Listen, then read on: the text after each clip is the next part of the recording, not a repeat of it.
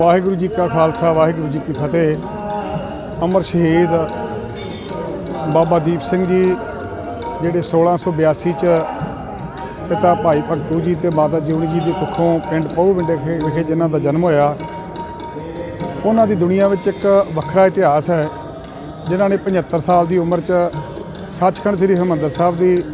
ਅਜਮਤ ਦੀ ਰਾਖੀ ਕਰਦਿਆਂ ਆਪਣਾ ਸੀਸ ਤਲੀ ਤੇ ਧਰ ਕੇ ਦੁਨੀਆ 'ਚ ਇੱਕ ਅਨੋਖੀ ਮਿਸਾਲ ਪੈਦਾ ਕੀਤੀ। ਉਹਨਾਂ ਦਾ ਜਨਮ ਦਿਹਾੜਾ ਸ਼੍ਰੋਮਣੀ ਗੁਰਦੁਆਰਾ ਪ੍ਰਬੰਧਕ ਕਮੇਟੀ ਤੇ ਸੱਚਖੰਡ ਸ੍ਰੀ ਹਰਿਮੰਦਰ ਸਾਹਿਬ ਵੱਲੋਂ ਬੜੇ ਵੱਡੇ ਪੱਧਰ ਤੇ ਹਰ ਸਾਲ ਗੁਰਦੁਆਰਾ ਸ਼ਹੀਦਗੰਜ ਵਿਖੇ ਮਨਾਇਆ ਜਾਂਦਾ ਹੈ ਤੇ ਅੱਜ ਇਸੇ ਤਰ੍ਹਾਂ ਉਹਨਾਂ ਦੇ ਜਨਮ ਦਿਹਾੜੇ ਦੇ ਸੰਬੰਧ ਵਿੱਚ ਸਵੇਰੇ ਸ੍ਰੀ ਅਖੰਡ ਪਾਠ ਸਾਹਿਬ ਆਰੰਭ ਹੋਏ ਨੇ, ਜਿਨ੍ਹਾਂ ਦੇ ਭੋਗ ਪਰਸੋਂ 27 ਤਰੀਕ ਨੂੰ ਸਵੇਰੇ ਪੈਣਗੇ ਤੇ ਉਸ ਦਿਨ ਸਾਰਾ ਦਿਨ ਦੀਵਾਨ ਚੱਲਣਗੇ, ਕੀਰਤਨ ਹੋਏਗਾ, ਢਾਡੀ ਜਿਹੜੇ ਵਾਰਾਂ ਨੇ ਉਹ ਗਾਈਆਂ ਜਾਣਗੀਆਂ ਤੇ ਉਸ ਮਹਾਨ ਸ਼ਹੀਦ ਨੂੰ ਸ਼ਰਧਾ ਤੇ ਸਤਿਕਾਰ ਭੇਟ ਕੀਤਾ ਜਾਏਗਾ। ਅੱਜ ਜਿਹੜੇ ਅਖੰਡ ਪਾਠ ਸਾਹਿਬ ਰੱਖੇ ਨੇ ਜੀ ਇਹਦੇ ਲਈ ਸਮੁੱਚੀਆਂ ਹੀ ਸਿੱਖ ਜਗਤ ਨੂੰ ਬਾਬਾ ਦੀਪ ਸਿੰਘ ਦੇ ਜਨਮ ਦਿਨ ਦੀਆਂ ਲੱਖ ਲੱਖ ਵਧਾਈਆਂ। ਕੱਲ੍ਹ ਨੂੰ ਸ੍ਰੀ ਅਕਾਲ ਤਖਤ ਸਾਹਿਬ ਤੋਂ ਜਨਮ ਦਿਹਾੜੇ ਦੇ ਸੰਬੰਧ ਵਿੱਚ ਨਗਰ ਕੀਰਤਨ ਚੱਲੇਗਾ ਜੋ ਵੱਖ-ਵੱਖ ਜਗ੍ਹਾ ਤੋਂ ਹੁੰਦਾ ਹੋਇਆ ਸ਼ਾਹ ਵੇਲੇ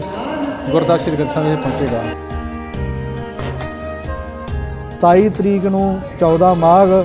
ਦਿਨ ਵੀਰਵਾਰ ਵਾਲੇ ਦਿਨ ਸੋ ਸ੍ਰੀ ਖੰਡ ਪਾਠਾਂ ਦੇ ਭੋਗ ਪੈਣਗੇ ਆਸਾ ਜੀ ਦੀ ਵਾਰ ਦੇ ਕੀਰਤਨ ਤੋਂ ਉਪਰੰਤ ਭੋਗ ਪੈਣਗੇ।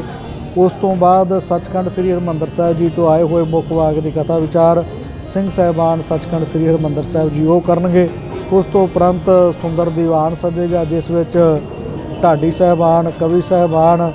ਅਤੇ ਰਾਗੀ ਸਾਹਿਬਾਨ, ਪੰਥਕ ਵਿਦਵਾਨ ਜਨ ਉਹ ਬਾਬਾ ਜੀ ਦੇ ਜੀਵਨ ਤੇ ਚਾਨਣਾ ਪਾਉਣਗੇ ਔਰ ਧਾਰਮਿਕ ਵਿਚਾਰਾਂ ਦੀ ਸਾਂਝ ਪਾ ਕੇ ਸੰਗਤਾਂ ਨੂੰ ਨਿਹਾਲ ਕਰਨਗੇ ਜੀ। ਧੰਨ ਧੰਨ ਬਾਬਾ ਦੀਪ ਸਿੰਘ ਜੀ ਦੇ ਜਨਮ ਦਿਹਾੜੇ ਤੇ